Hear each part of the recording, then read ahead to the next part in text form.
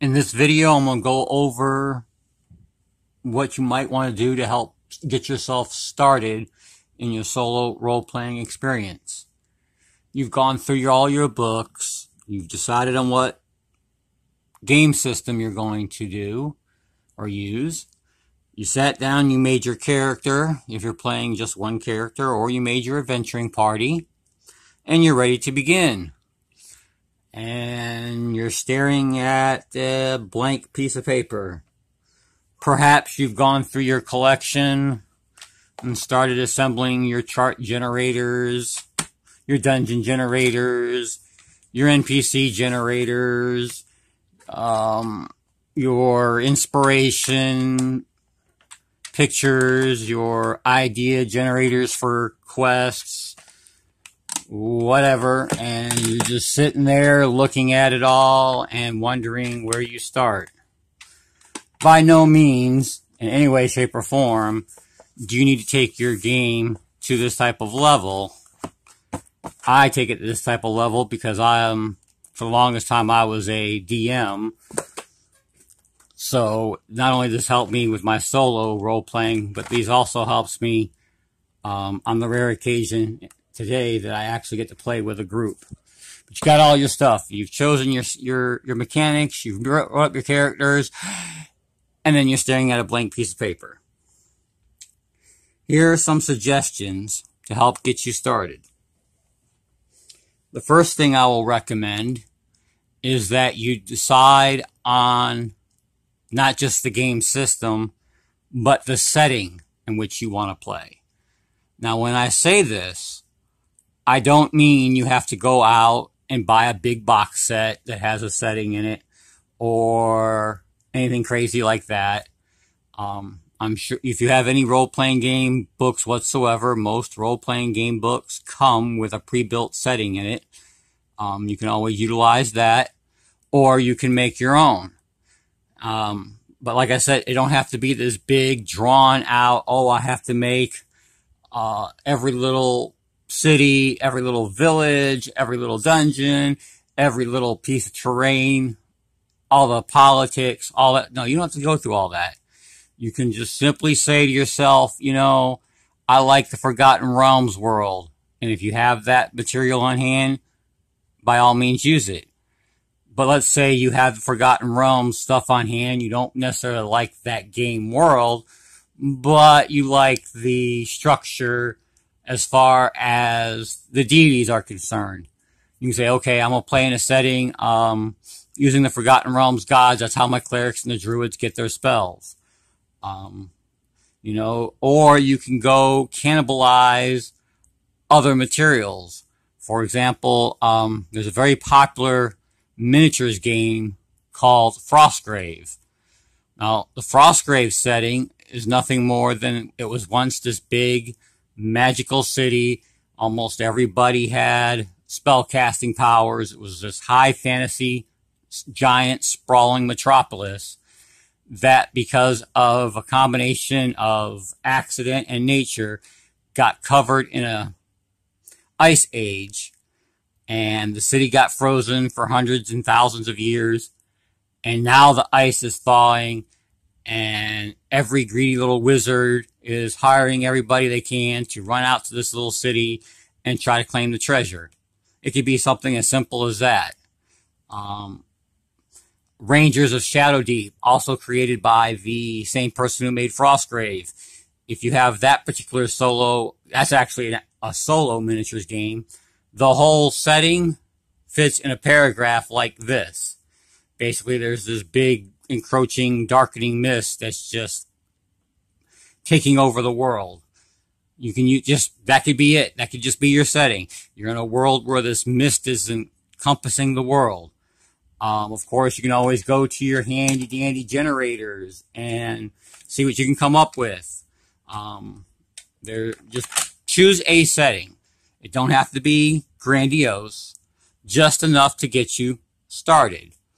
Uh, for my particular next foray into role playing solo, I will be using my newest um,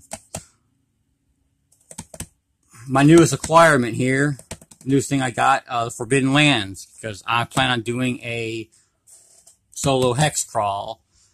And this game is designed as a solo hex crawl, and the particular setting it has is perfect for a hex crawl. Most of my charts, most of everything I need will be from this set. On the rare occasion that I do need, you know, some outside help, I'm sure if you've been on my uh, video channel for a while, you've seen me talk about these. If you haven't seen that video yet, go ahead and look back on my channel. It was the first video I ever did.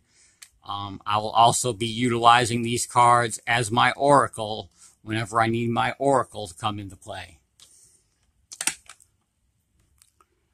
Now, once you've chosen your setting, the next thing you're going to want to do is choose your starting point. If you have ever been a game master before, think of it like this. Forget that you're playing solo. Pretend that you are making an adventure for a group of your friends. Where are you going to start them? Are you going to start them in town, in a village? Are they going to meet at the, you know the old cliche of meeting at the tavern? Or are you just going to assemble the party and when they all sit down at the table, you're going to say, okay, y'all have traveled. You're now in front of the dungeon and begin from there. That's purely up to you. Now that you've got your setting and you decided on how to start, be like, start off being as a GM and create that starting point. Um, I will be using the Forbidden Lands because um, Forbidden Lands has inside it three um, pre-made adventure sites. One for a village, one for a castle, and one for a dungeon. The game suggests that um, you start at um, the village they created. Now, I'm not going to do that because I don't want to spoil anything for you. But what I did decide was I want my people to start in this village. This will be their home base. This will be the start of their hex crawl. So I went into here. I decided, since I've already decided I'm using this setting, I have the setting ready. And then I use those charts to kind of generate for me a simple village. And here's my little notebook that I'm going to keep track of everything in. I got my character handy all five of them. I haven't decided if I'm going to make a sixth one yet. That's still up in the air. I got my character sheets. And then I made this little village. There's a little map of it. I am not an artist in any way, shape, or form. But I rolled on the charts. It was built during the Blood Mist. It was ruled by a sorcerer who seems confused has had a this this village has had a serious problem with bandits. It's known for its wondrous breads and pastries. Cattle wander aimlessly. And that was all generated using the pre-generated charts. It then gives you, uh, you roll for some notable institutions. I've got a mill, an inn, a trading post, a temple, a forester. And when I looked at my characters, I had made a dwarf character, and I'm like, you know, dwarves really aren't farmers, so I decided to add a smith, which is, and I put a little note here, run by the three, three dwarf families in town. There was also a legend generator in there. So just in grins, for grins and giggles, I went ahead and rolled up a legend. And it says, during the Alder Wars, there was a scared king who sought a map out of sense of duty, who traveled far away to some marshlands northwest, who took his own life. That location held a powerful artifact. The area is controlled by a death knight. And I'm like, okay. And then I looked up here at, when I rolled, that the village had a serious problem with bandits. I'm like, okay, why would the village have a problem with bandits? Well, we've, for whatever reason, we've got these cattle that wander around aimlessly. And then when I made the smith shop and drew up the map, I went into um, one of my random tables to see what exactly are they smithing and that maybe they're next to a mine. So I asked my oracle, by chance, is is there a mine entrance nearby? Is that where the smiths are getting their materials? And it came up yes. And then I got silver. So I'm like, you know, hmm, okay, the bandits, they're attacking the town because they're after the cattle for food and they're after the silver, of course. I thought, okay, that, that sounds pretty good. And then I looked at this legend when I looked at the legend, I was like, you know, this could be the beginning of a story arc that will expand the whole, the whole, all the, all the, basically a campaign, basically. It's going to be the backdrop behind everything these adventurers do. So, after looking all at, at all this, I'm like, okay, the party has been living in this village for the longest time. Um, they've got a problem with bandits. They've all heard this legend. And now it's starting to come together that the party, through their regular daily interactions in the village, have decided to come together to unite and take care of the problem with the bandits with a further goal of down the line of tracking down what this was with the scared king, what was the map about, um, what what is this uh, powerful artifact, and then, of course, they know, according to legend, that there's a death knight. So they'll be prepared, or at least as prepared as they possibly can be, um, when the time comes. So as it sits, just using my regular generation tables and a little bit of, you know, DM skills, I've got a backdrop. I've got the story coming together for how these adventurers came to, are coming together. They have an immediate problem they have they have to solve, and now they've got a long-term goal. Um, there is a guy, very popular video um, YouTube channel, who paints miniatures, and he always gives people advice on painting miniatures.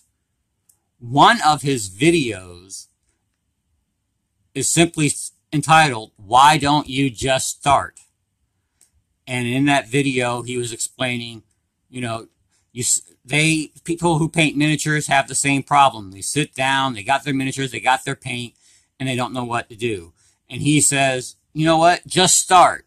Well, guys, that's what I'm telling you to do. Sit down and just start. That's all you need to do.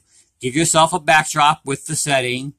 Roll something up on whatever chart generation system you use and you will have a background basis to start your solo campaign.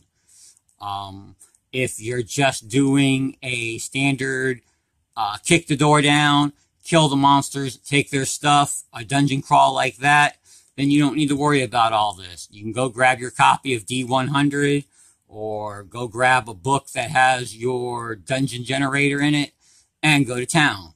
But if you're looking to add some type of narrative to your solo role playing, you've got a good place to start just by utilizing whatever resources you already have at hand.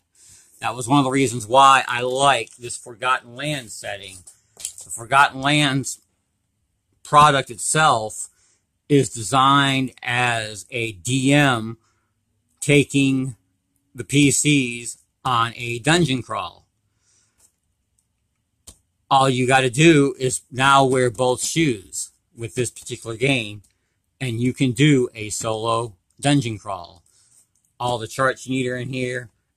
Everything you you know, all the basics to start. The only thing it doesn't have that a solo role player will need is some type of oracle, and you can go online.